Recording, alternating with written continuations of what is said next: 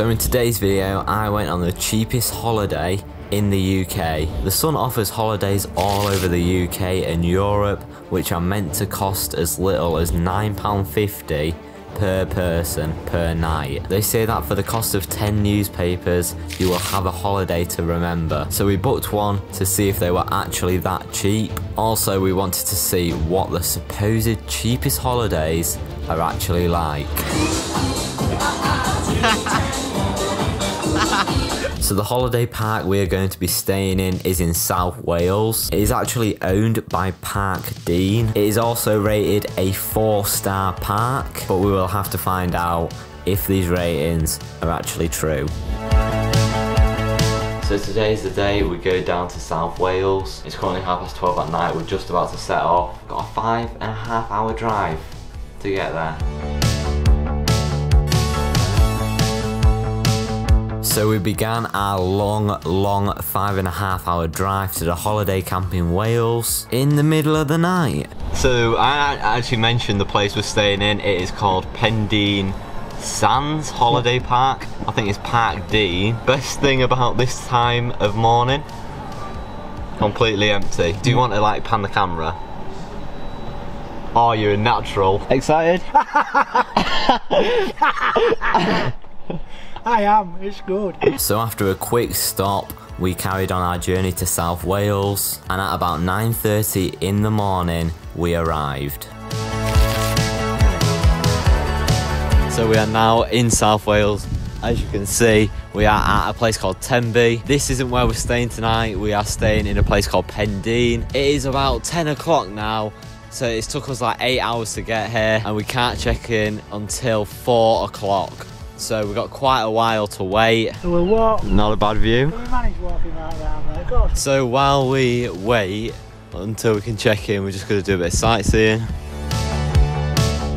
I've heard about it. That is apparently haunted, and I think Joe Weller actually stayed in that. So yeah, um, it does look quite haunted. Looks a scary place.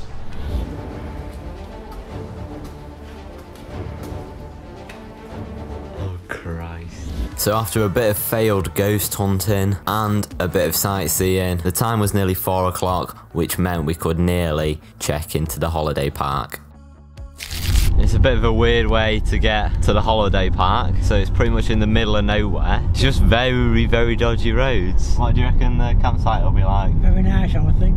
We will see, hopefully. And here we are, we have arrived at the campsite. It looks luxurious.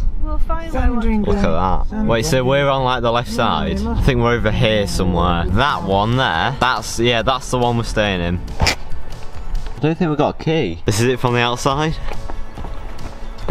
Pretty standard from the outside, but when you come inside, let me just show you. Bang. That's a good, good caravan. It's massive. That is a sea view. And then obviously all of the rooms down here. They've also gave us entertainment passes so we can go watch like the shows and stuff. That comes with it. It's massive. This is the double bedroom. Look at the size. This is the biggest caravan I've ever been in.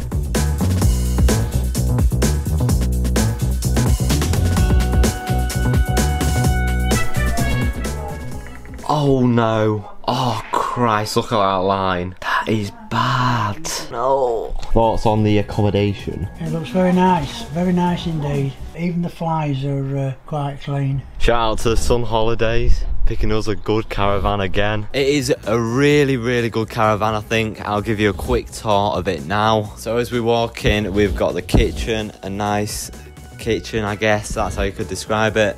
Then you've got the living area, and then the dining table, the bathroom, obviously everything you need in there. We'll come see your bedroom first. Massive bedroom, the biggest bedroom I've ever seen in a caravan. I could probably lay down here and I'm six foot. Very, very big bedroom. And then the second bedroom, uh, which is in here, is just two single beds, as you can see. That is pretty much the caravan. That is our accommodation. Good choice from the Sun Holidays. So what is actually on a £9.50 holiday campsite? The first thing we noticed was that there was many, many restaurants. We decided to head to one of them to try out the food offered on site.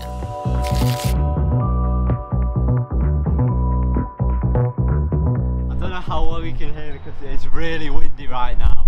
We've just been in one of the four restaurants on site, had a pizza and it was really good. It was £10 but normal price for a pizza. Also we have like a view across all the seafront. There's also the show bar which has like the arcade and like the stage where they do performances in it but we're probably going to go there tomorrow. This caravan next to us looks like it's been abandoned. It's literally falling apart. Welcome to a brand new series on the channel. What can I fit in my granddad's bed without him knowing? Episode 1.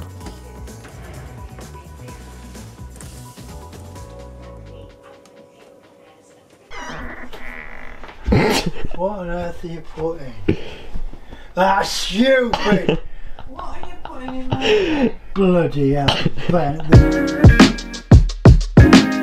The second day in paradise. Right, look at this shower head they've got on. Just a bit of perspective. It is minute. Oh no, I've still got that line. On day two, we wanted to explore the nearby area, so we went to this island just off the coast for most of the day.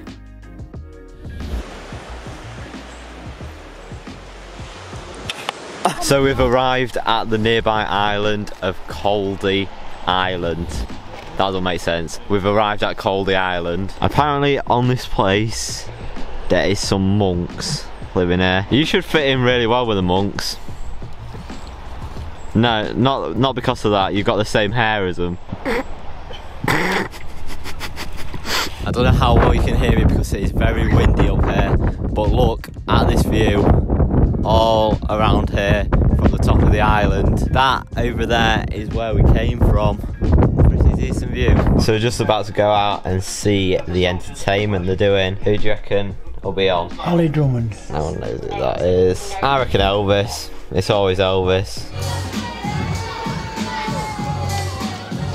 Not far off with Elvis, we've got Robbie Williams. Not the actual one, a tribute one. Start chanting when Robbie Williams come on. We love you, Robbie.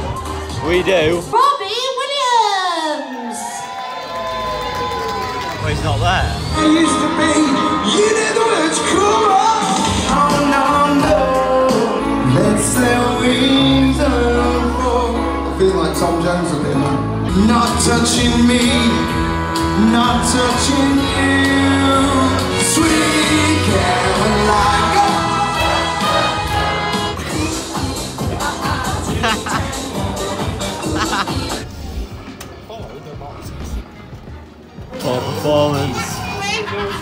Five. Five tickets. Look at him rushing out.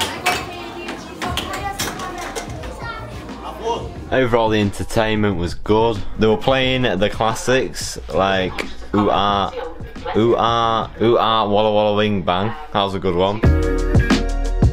So it's the third day, and we have come to a local town called Saundersfoot, and we have entered into a duck race, which will be quite intense. There is a £50 prize for the winner. So there's a lot at stake. So I'm with the owner of Duck 821. How are you feeling ahead of the race? A race? little bit nervous. Nervous times. 20 minutes till the start of the race. And look at the crowds. Man, I think it's sold out. Here we go. Thi- This is the biggest sporting event of the year. I know way. Pretty even start for all of them. Christ, the, the, the pace. Oh, the, the zooming down here, it's a blur. I think we're in the lead. Look at the crowds. It's packed. Go on, get stuck. Yes! It was an absolutely thrilling race. Where did your duck come again? 115th. Not far off the podium. So after the intense race, we headed back to the campsite to experience a bit of karaoke. I think we've got karaoke tonight. How many times do you reckon Let It Go will be sung? Five times? Easy. So this place also has a swimming pool. Here it is. See, it's a swimming pool, no slides or anything.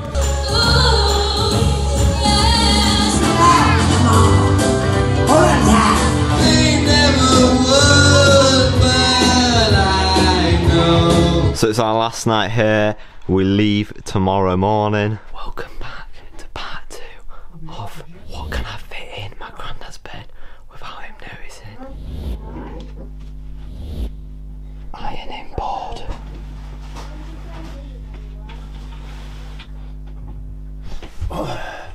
Here.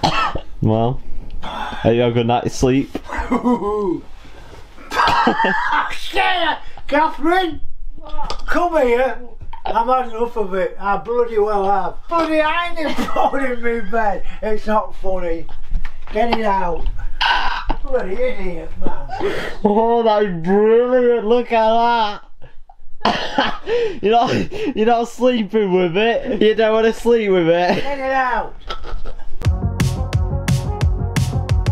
So just packing our stuff up, and then we will be checking out. How you found the caravan? One of the better caravans?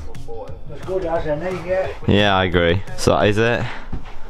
Goodbye, caravan. It has been very, very good.